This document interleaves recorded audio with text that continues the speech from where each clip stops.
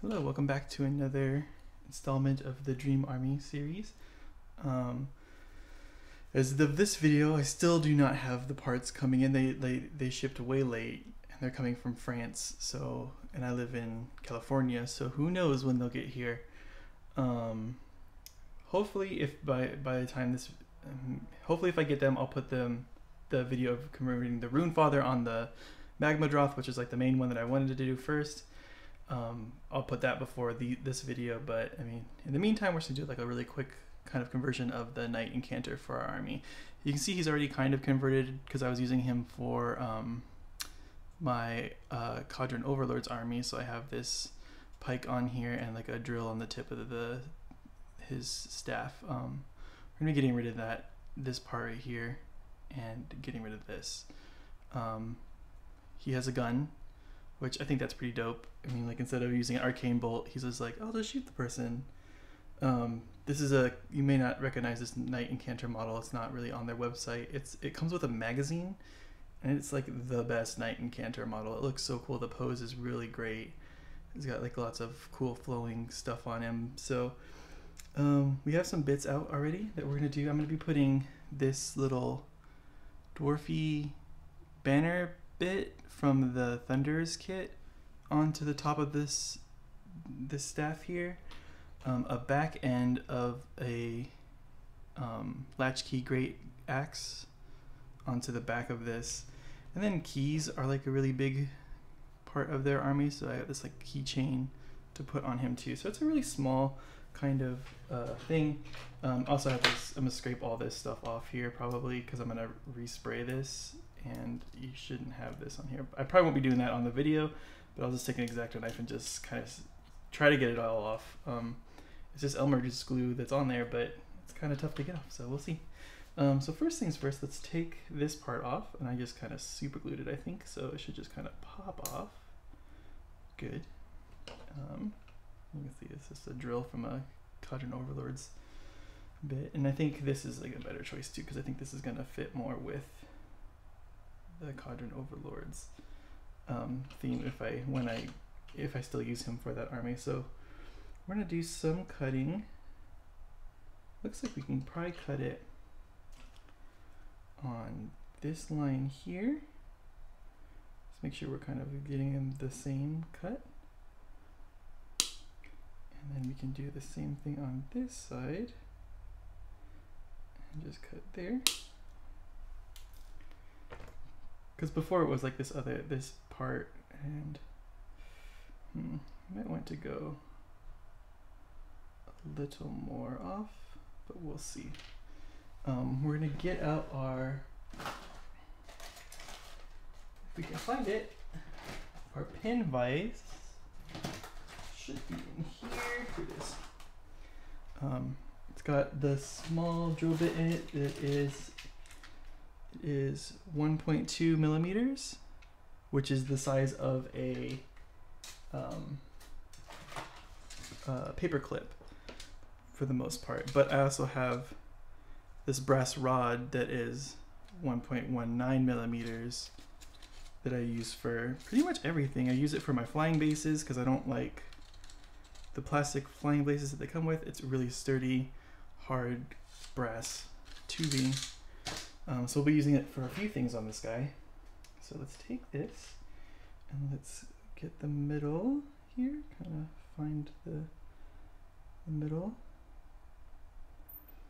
and then just drill into this bit.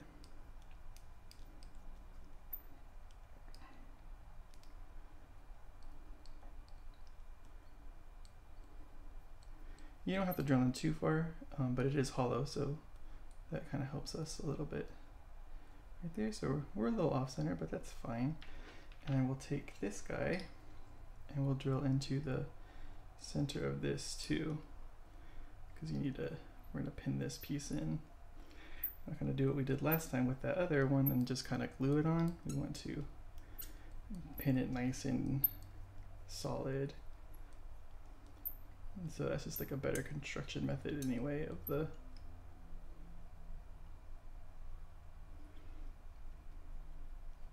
So try to drill as straight as you can. Keep your keep it kind of perpendicular or parallel to itself and just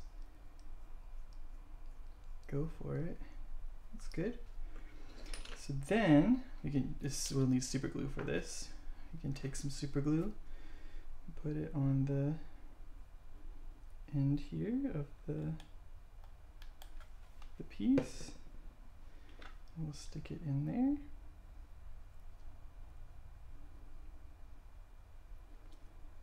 So that'll be pinned on. And then we can kind of guesstimate how big we have to have it. We'll kind of oversize cut it right now. Just hold both ends when you cut it so you don't want the metal rod flying everywhere. Um, and we can kind of test fit it on. Uh, cut it off oh, just a little bit, I think, and then we'll probably be pretty good. We can leave the, so we'll just take a little bit off this here, just like a little bit more. And this, you might want to shoot into here because you're not gonna be able to get it. All right, and then we test fit it again. We want the symbol facing out. So let's take that, put it in the hole. Nice, so I think that's good and it lines it up pretty, pretty good with that thing. So we'll just take this, we'll put a little dab of super glue there. And we have his staff, part of his staff done, the front, the top half. That's cool, and it looks like it's kind of part of it. Especially when it's painted, it'll look a lot better too. Um, now for the back part, we want to kind of have a pretty good length to the staff, so probably here is where we want to cut it. Cut that. So we're going to use this piece here. We're going to cut this here, drill in, and have this stick out. Because this before, like I, I did it before, it's just glued on. Um, so we'll pop it off. We'll pop this off first, the little the cord for the sky hook. And then we'll just take it here. And we'll probably have to clip it. Get our clippers. And you know what? Let's try Maybe not. Let's just go here. Leave some of this like stuff. Because maybe it'll look cool together. And we take our piece. This is from the um, Underworlds kit of the the Fyreslayers. Uh, there is a like a Rune Master in that kit, but the reason I'm not using this one for my main guy is that the his latchkey axe goes behind his head and his it's attached to his neck so like it's not i can't cut it off in one piece um, to make it you know really look good so i had to buy the one that comes from the thing. So this is a really tough piece because it's going to be a really trying to get a hole in here and it's a really small piece so just kind of hold it. Be careful don't go slow don't stab yourself because um, that's not going to be fun. Don't push hard with the, the pin vise. Just kind of get that drilled. Like I said, you don't have to go too far. And then we can kind of just line it up to see what it's to look like. It's to be like that. That looks kind of cool. It's cool. So we'll drill into here also um, being careful because it's just glued on like a to the back there but so far I mean it's been pretty strong so maybe it'll stay strong. Who's to say?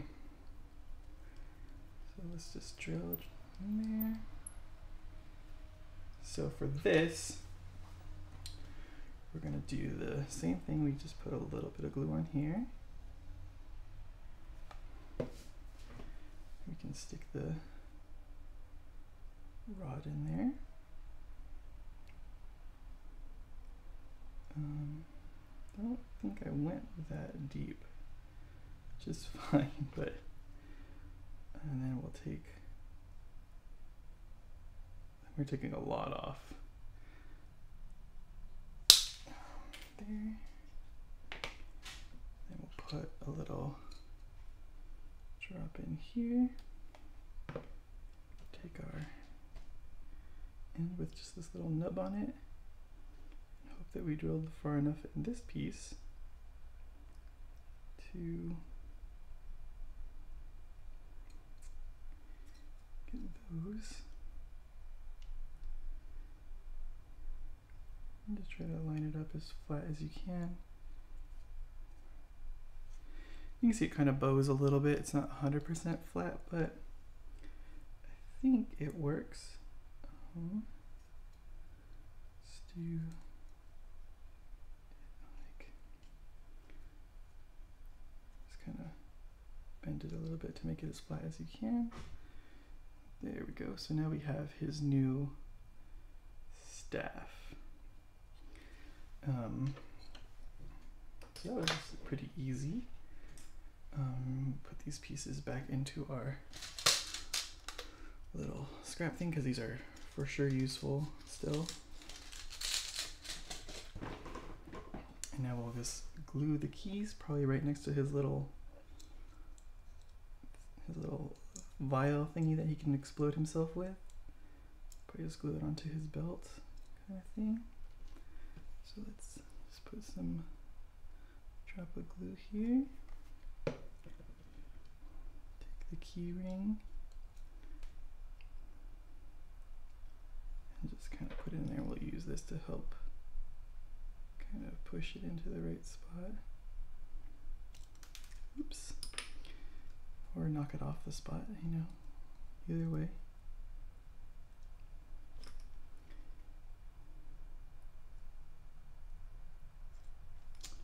For my tweezers, I have some little tweezers here that we can use.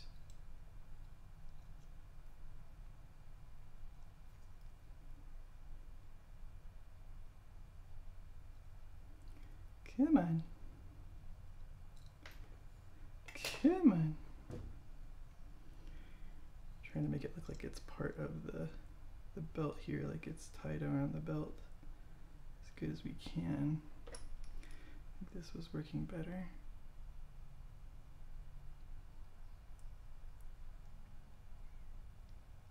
Let's put this further forward like that. Okay. It's there and we'll take the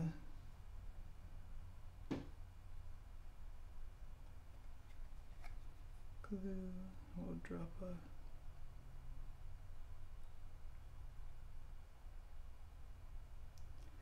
dab on there. That'll hopefully Oh god.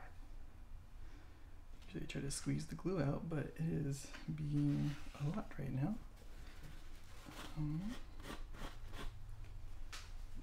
clean it up here so I don't have a bunch of glue all over my desk.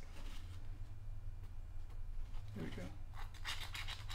Make sure air still goes through it because that's the best way to make sure that it doesn't um, clog up when you're done.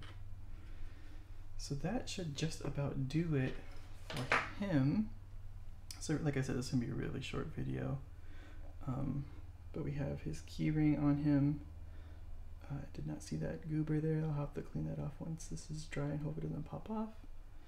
Um, he's got his little gun and his staff. I hope you like this video and this series. We'll be painting some of these guys pretty soon because I don't like to have like a huge backlog of things that I need to paint.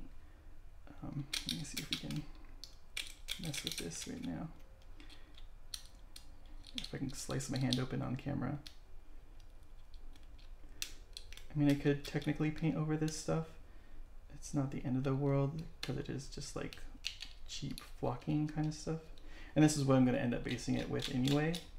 But the chunks will matter. So we'll try to get the chunks out of the big ballast that I have on here to help get this flat.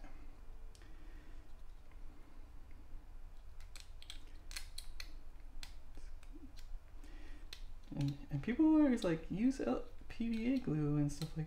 I mean, I guess Elmer's glue is PVA glue. Um, but like you don't need like specialty Scenic glue or anything like that. Just buy the white Elmer's glue that you use in school in kindergarten.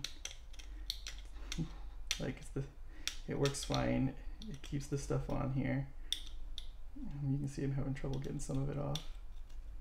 So you don't have to go crazy.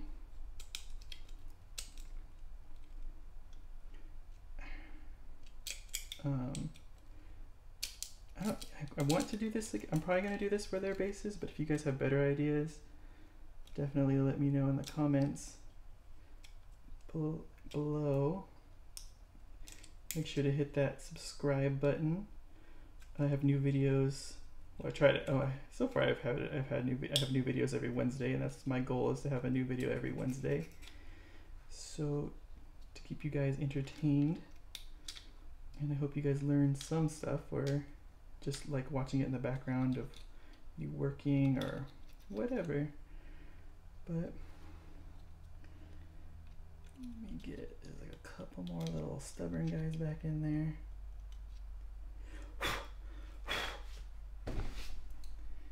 Cool, so that gets all that.